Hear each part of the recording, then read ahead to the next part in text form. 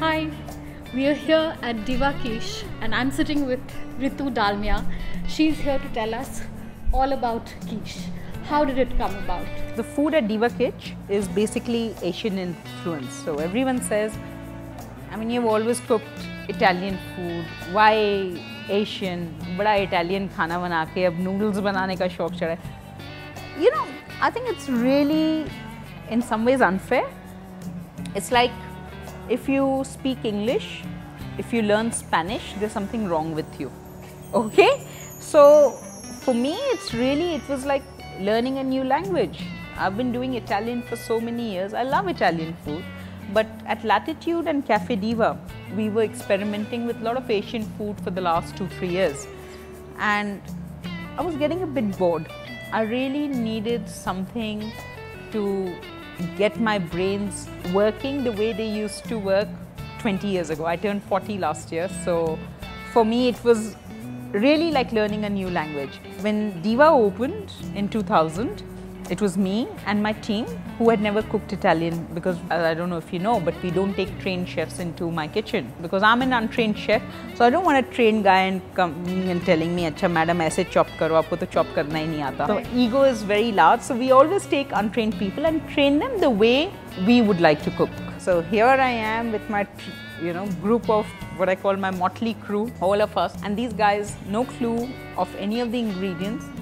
And for one month, the amount of work I've done. I don't think I've done that much work in last 13 years. So, really? Uh, so much for a challenge of learning a new thing. My back hurts, my feet ache now, but it was great fun. So the menu keeps evolving? Absolutely. It's it's been even so now, even now, like I said, we are so new at the moment. After a couple of weeks, we will relook at the menu to see where we can improve, where we can evolve. So uh, it's still in some ways work in progress. It's not only for me, okay i need something to stimulate me but also for the clients because unfortunately or fortunately we rely 95% on our regular guests who keep on coming back again. And i mean even after a month they say now we are bored change something. So it's it works both ways. This is the way i look at it. For example the classic prawn pomelo salad is very very spicy. It uses a fish sauce.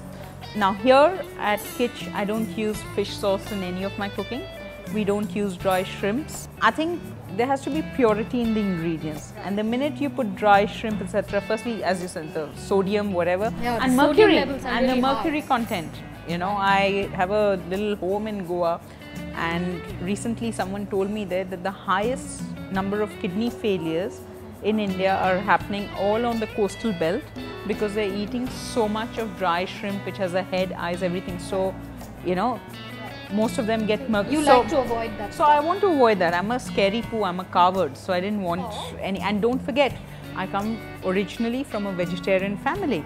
So uh, in the early days, all my vegetarian family friends had huge problem whenever they were in Asia, Southeast Asia, because even the paste, everything, even it was vegetables. So we as a policy have decided to boycott oyster sauce, fish sauce, and any dry shrimps or dry fish. And if you'll see that after you've eaten it, you don't have this strong aftertaste in your mouth. And it's very light, it's very healthy.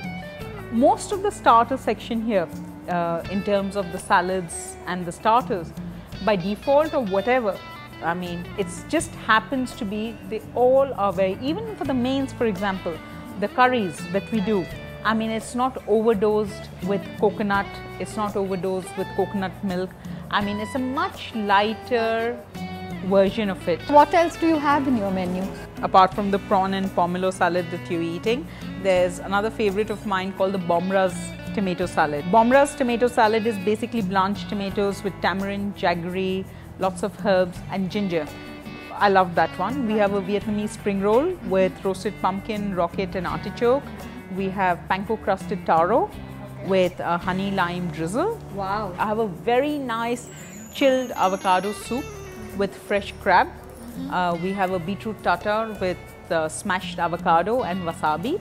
So you see the uh, Asian influences are just a hint and a flavor. It's not overly Asian, Asian like hardcore. In the main courses, my favorites are the yellowfin tuna burger. Then I have baby aubergines uh, filled with chili garlic paste in a very light broth of yogurt and fennel.